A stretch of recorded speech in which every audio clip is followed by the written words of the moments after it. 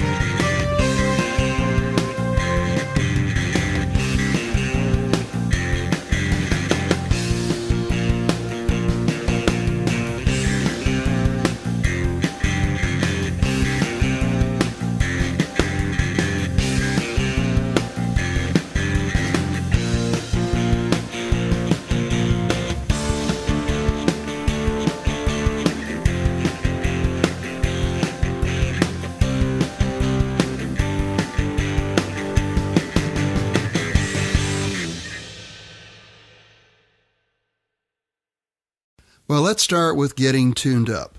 Here is my first string. We hope you enjoyed this preview. To continue listening to this audiobook on Google Play Books, use the link in the video description.